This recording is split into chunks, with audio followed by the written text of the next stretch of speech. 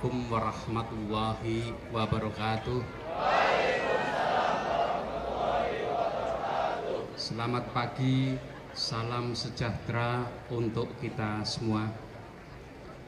Yang terhormat Bapak Ketua DPRD Kota Tegal, yang kami hormati orang tua wisudawan wisudawati SMK Negeri 3 Kota Tegal yang berbahagia serta tamu undangan lainnya.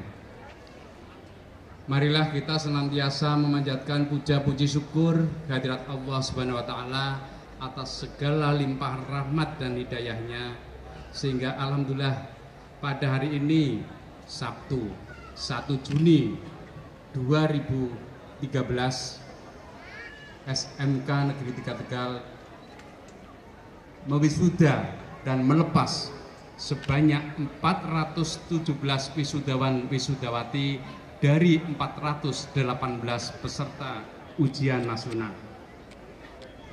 Untuk itu kami ucapkan terima kasih yang setinggi-tingginya terutama kepada pihak pemerintah Kota Tegal dalam hal ini Dinas Pendidikan Kota Tegal yang telah membantu mempercepat akselerasi perkembangan SMK Negeri 3 Kota Tegal sehingga menjadi SMK yang ke depan menjadi sekolah berprestasi.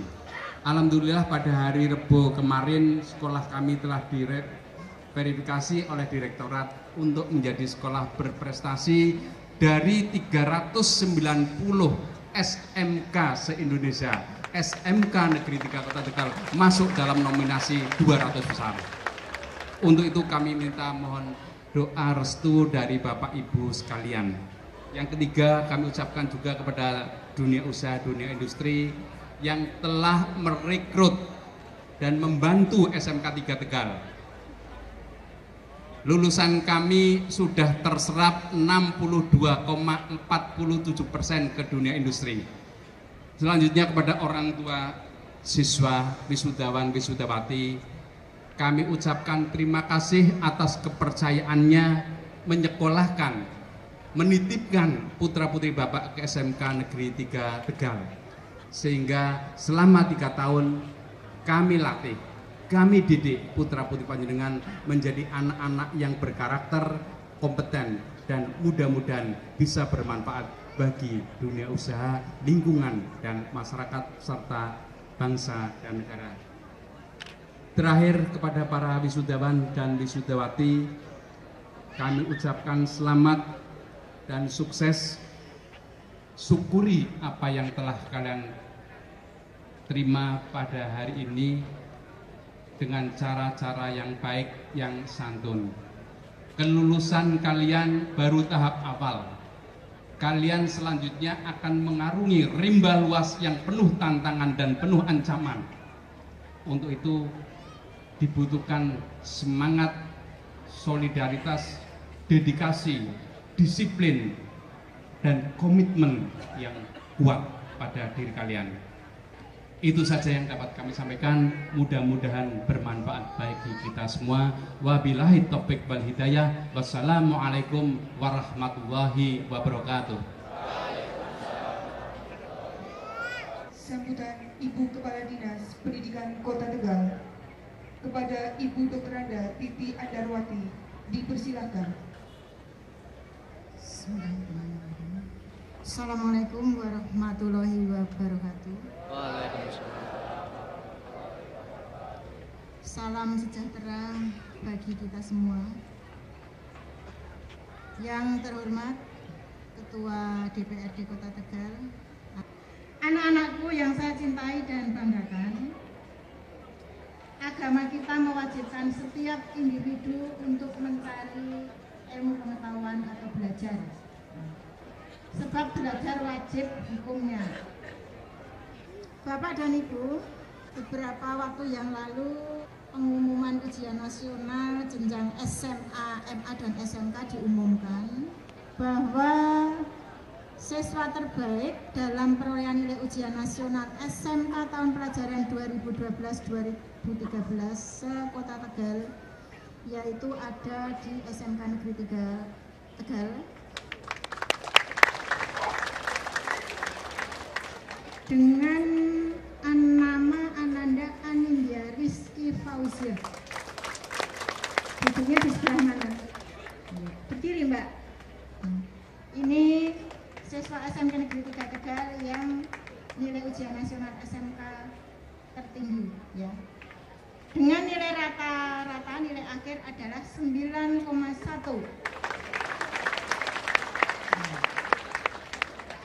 kemudian mata pelajaran matematikanya adalah 10,00 atau 10 Bapak dan Ibu patut disyukuri pula bahwa SMK Negeri 3 Tegal telah menorehkan prestasi baik di tingkat daerah maupun nasional. Bapak dan Ibu dan anak-anak yang saya cintai, kita sadari sepenuhnya bahwa dunia usaha dan industri merupakan bagian yang sangat penting dalam mendukung pemerintah, dalam mensejahterakan masyarakat dan pengentasan pengangguran. Saya mengajak dunia industri, Bursa Kerja Khusus Sekolah, Asosiasi Bursa Kerja Indonesia atau ABKI, dan semua elemen untuk saling bergandengan tangan dalam menjembatani masyarakat yang masih belum mendapatkan pekerjaan. Kami akhiri. Wassalamualaikum warahmatullahi wabarakatuh.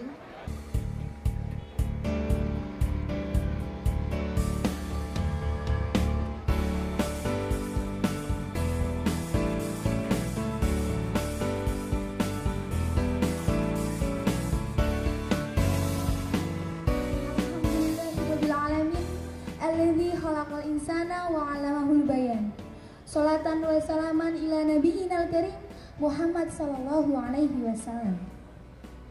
Kepada yang terhormat Bapak dan Ibu Wali Kota Tegal atau yang mewakili beserta staf dan jajarannya. Kepada yang terhormat Bapak Kepala Sekolah SMK Negeri 3 Tegal, Bapak Ibu Guru beserta staf tata usaha serta jajaran BINSIS SMK Negeri 3 Tegal yang saya hormati pula Teman-temanku seperjuangan yang saya cintai dan saya banggakan, tak terasa tiga tahun sudah kami menjadi siswa di SMK Negeri 3. Telah banyak kenangan yang telah kita torehkan selama kami menjadi siswa di SMK 3. Suka duka telah kami rasakan. Banyak ilmu dan inspirasi yang kami dapatkan dari Bapak dan Ibu Guru serta BINSIS yang sangat berguna bagi perkembangan karakter setiap siswa. Bapak Ibu guru yang saya cintai dan saya banggakan, Joseph Joubert, seorang filsuf dari Prancis pernah mengatakan bahwa anak-anak lebih membutuhkan panutan dibandingkan dengan kecaman. Oleh karena itu, kami berharap agar Bapak Ibu guru tetap menjadi teladan yang baik untuk para siswa. Para siswa membutuhkan sosok yang bisa mengayomi dan membimbing dengan penuh kasih sayang dan perhatian serta ketegasan agar kami bisa meraih apa yang kami cita-citakan. Teman-temanku seperjuangan yang saya cintai dan saya banggakan, kita telah melalui serangkaian jalan menuju masa depan yang kita impikan. Ujian nasional kemarin hanyalah sebuah password untuk menjadi menjalani ujian yang sesungguhnya. Ujian di mana kita dipaksa untuk bisa mengarungi kehidupan kita masing-masing untuk dapat meraih apa yang kita cita-citakan.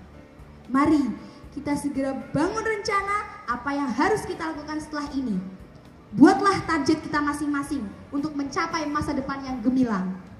So, let's gain success from the power of religion, knowledge, and skill. Mari kita raih kesuksesan dari kekuatan agama, pengetahuan, dan keahlian. Kiranya itu saja yang dapat saya sampaikan. Mohon maaf apabila ada salah kata. Wabillahi taufiq wa hidayah.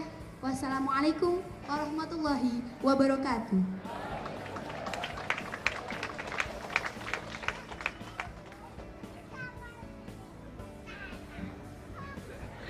Pelepasan wisudawan.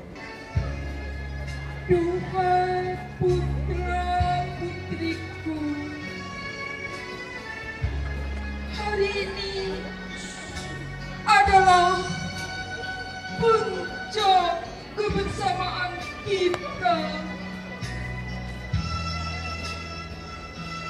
untuk saling memacu, memandu, dan menyongsong masa depan yang lebih cerah. Suka duka telah kalian lalui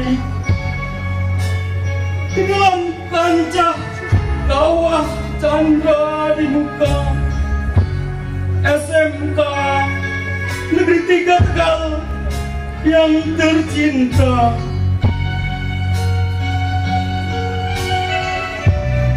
Putra putriku tiga tahun sudah kalian telah mewarnai. Dan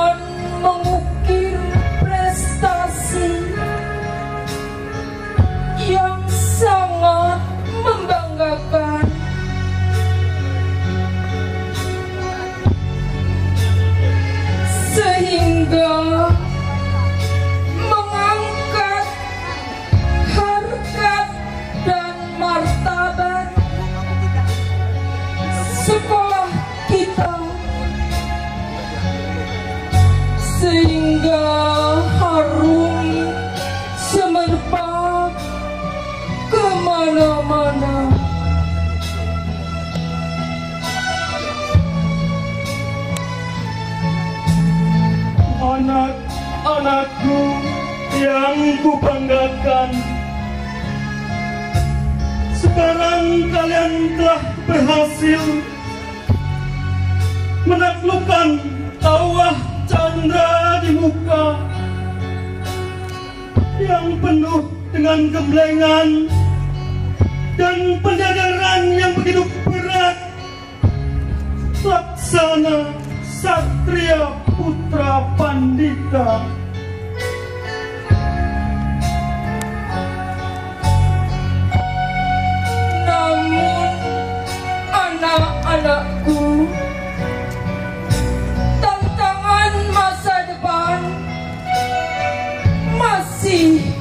membentang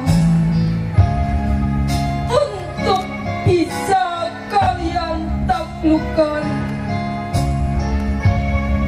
Masih banyak yang harus kalian kerjakan.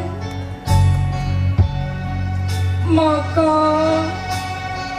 kami sebagai orang tua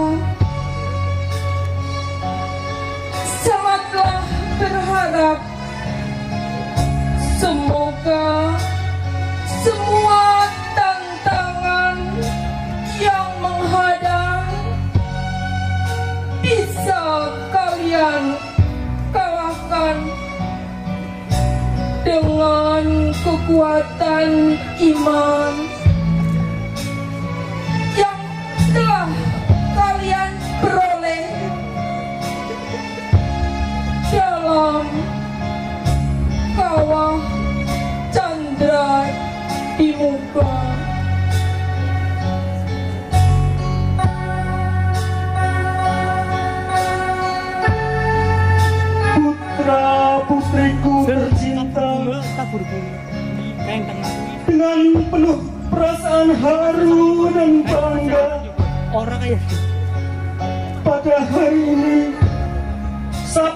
21 Juni 2013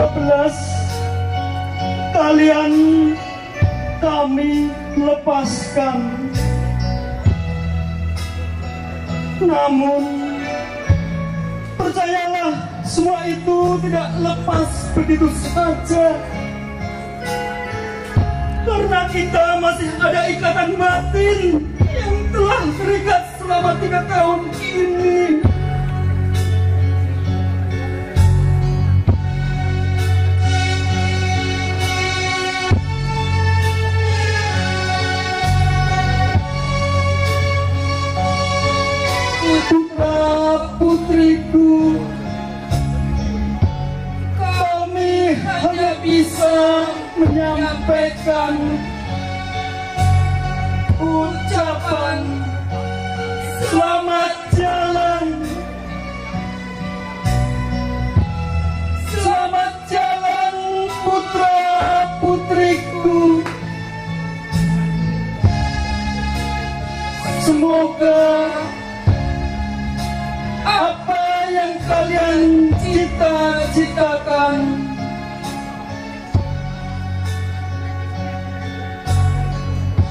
Bisa menjadi kenyataan.